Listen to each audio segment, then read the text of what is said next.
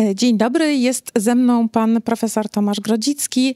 E, panie profesorze, był pan moderatorem przed chwilą e, bardzo ciekawego panelu Real World Data, cenne uzupełnienie, weryfikacja czy kontra do badań klinicznych.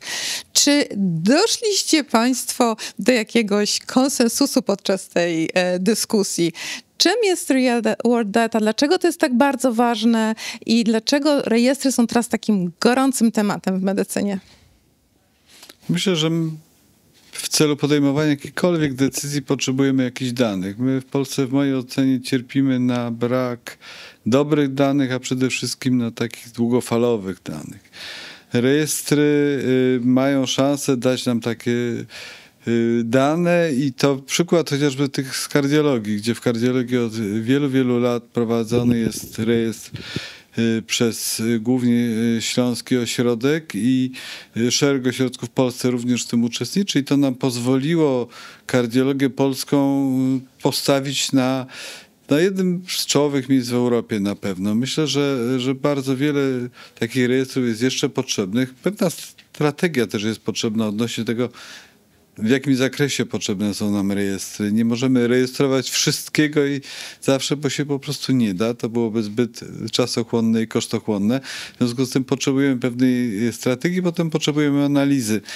Na pewno też musimy uwzględniać inne czynniki, a więc nie tylko te chorobowe, na których koncentrują się rejestry y, przez nas prowadzone, ale potrzebujemy również danych innych, dotyczących chociażby danych socjoekonomicznych, y, zatrucia środowiska, albo właściwie czystości środowiska, może patrzmy optymistycznie, y, jakości wody i tak dalej, i tak dalej, bo to wszystko decyduje o naszym zdrowiu.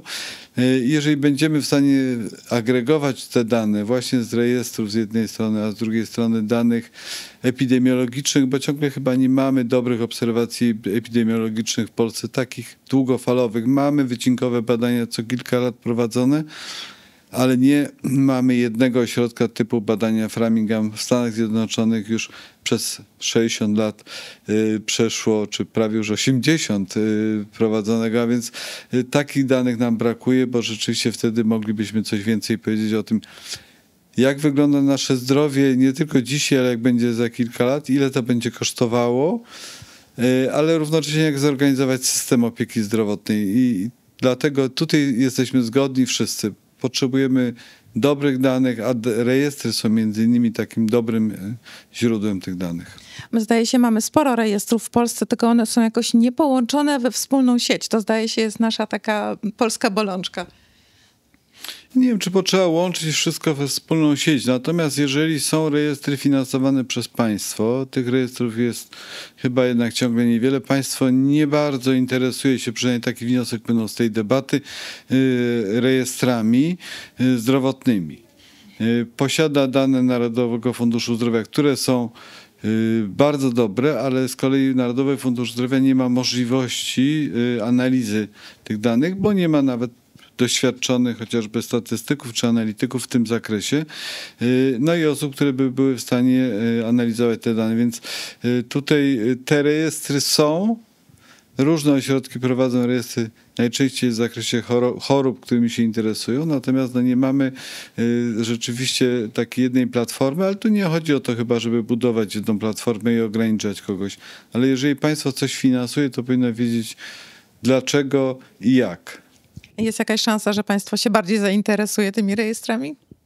To jest pytanie nie do mnie, to jest pytanie do, y, do przedstawicieli rządu. Ja tutaj się nie, nie, nie, nie czuję kompetentny odpowiadać na to pytanie. Ale możemy leciutko to państwo popychać w tym kierunku, rozumiem, wy jako eksperci, my jako media. Myślę, że każdy cywilizowany kraj powinien mieć ośrodek y, nie tylko z nazwy, bo taki mamy, ale również taki, który y, dysponuje realnymi środkami y, i prowadzi pewną taką realną politykę w zakresie prowadzenia właśnie rejestrów zdrowotnych.